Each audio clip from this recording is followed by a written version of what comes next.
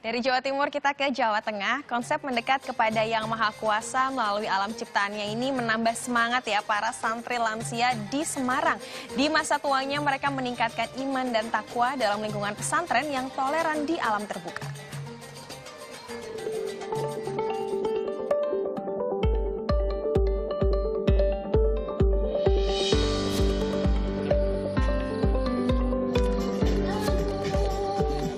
Usai sahur dan salat subuh, para lansia ini menikmati keindahan fajar mereka dari sang kalik menjadi anugerah. Tak hanya iman dan takwa, raga pun harus diolah. Di tengah persawahan, lereng pegunungan Gajah Mungkur Kabupaten Semarang, Jawa Tengah, mereka bersemangat gerakan otot-otot tubuh yang menua. Sambil berjemur sinar mentari, mereka juga ikut terapi agar raga tetap bugar berseri. Seperti inilah aktivitas mereka setiap pagi, mendekat ke alam dan mensyukuri nikmat sang ilahi.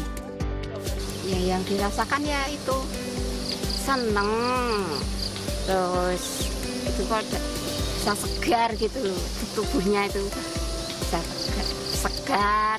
terus ini melihat pemandangannya itu kok gimana itu loh Tak hanya itu, para santri pondok pesantren Kasepuan Raden Rahmat ini juga menyibukkan diri mengolah alam dengan bercocok tanam.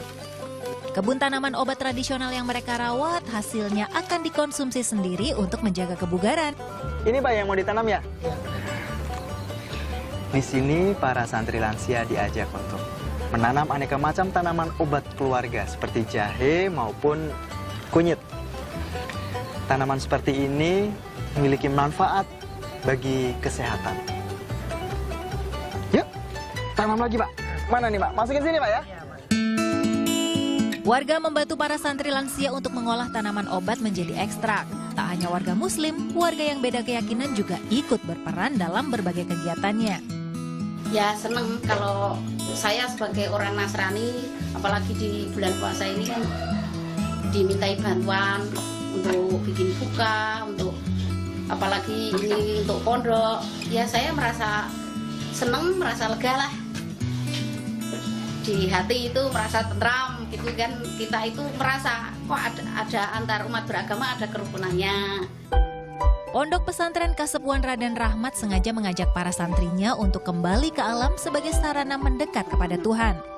Melalui metode ini, para santri lansia dapat mengolah jiwa, raga, dan rasa di usia yang semakin senja.